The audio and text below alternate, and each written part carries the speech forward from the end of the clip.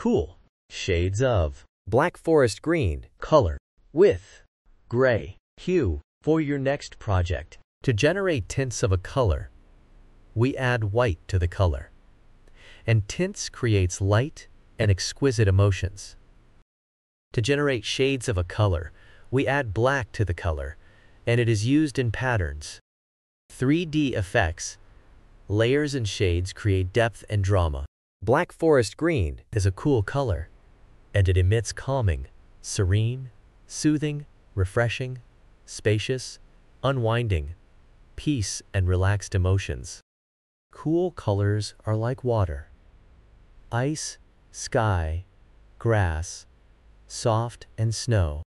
You can see them used in baby products,